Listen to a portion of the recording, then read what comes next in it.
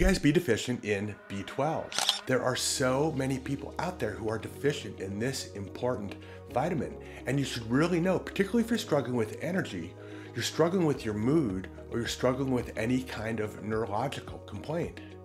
As a physician, I have seen so many people who are B12 deficient, and yet either their doctors aren't measuring this important vitamin or they're not measuring it correctly.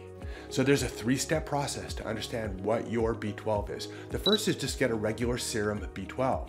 But know that if your B12 level is in the lower ranges, like maybe 200 to 400, you could be functionally deficient in this important vitamin.